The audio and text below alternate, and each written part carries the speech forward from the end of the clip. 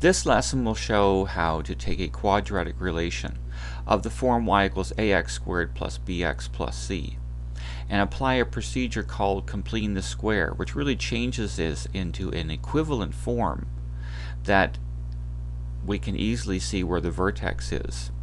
Now, for quadratic relations, the vertex is a very important point. And if the quadratic relation happens to open upward, then we have what's called a local minimum point or a minima point. If the quadratic relation opens downward, we have a highest point, which we'll call normally a local maxima point. And in the first example, we're given y equals x minus 3 squared plus 1.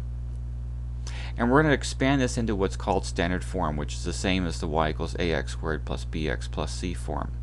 So we're going to take our original quadratic and we're expand the x minus 3 squared. If you remember the shortcut for expanding a perfect square, remember you go x squared, this is x squared, and then x times negative 3 is negative 3x, doubled is negative 6x, and then negative 3 squared is 9. And of course we have plus the 1. And then the only thing we have to do is add the 9 and the 1 to get 10 in the end. So in standard form, this quadratic relation would be y equals x squared minus 6x plus 10. Now, the problem that we're going to deal with in this note is how we take this kind of a quadratic relation and put it back in that form so that we can see, for example, that the vertex is at point 3 comma 1.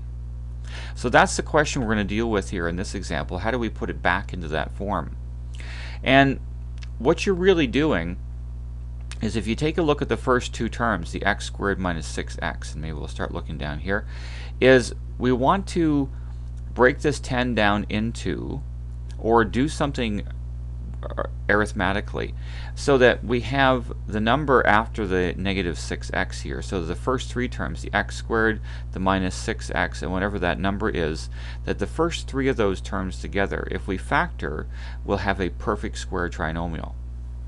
And notice that that 9, so we're actually, if we change the 10 into 9 and 1, then x squared minus 6x plus 9, that's the perfect square trinomial that would factor back into x minus 3 all squared. Now, where that 9 comes from is the 9 is actually half of the negative 6 squared. Or, if we kind of work backwards, remembering where this negative 6x comes from when we take this uh, x minus 3 and we square it. Remember that comes from taking the x and multiplying by the negative 3 and doubling it. So if we perform the reverse operation, what we'll do is we'll take the negative 6 here and we'll divide it by 2 and then square it and that will give us that 9 the number that will make the x squared minus 6x and then that 9 a perfect square trinomial. So, negative 6 divided by 2 and then squared, negative 6 divided by 2 is negative 3, and so when we square negative 3 we get 9. Now what we're going to do with that 9 is this.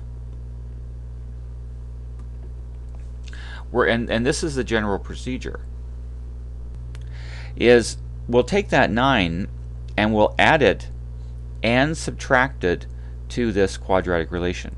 Now, in net, when you add 9 and subtract 9, you're really adding 0. But you see, the reason I want that 9 there is so that x squared minus 6x plus 9, the first three terms, that's a perfect square trinomial. So I subtract 9 to keep the equivalent form of the original equation, because I'm really adding 0. So if you take a look at the x squared minus 6x plus 9, that will factor into x minus 3 squared. And then negative 9 and 10 add to 1. There's the 1 in the end.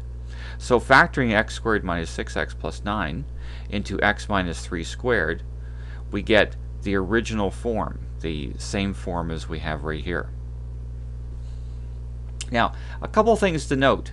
When you're factoring x squared minus 6x plus 9, this negative 3 here is half of the negative 6 from the negative 6x terms. It's also the 3 is also the square root of 9.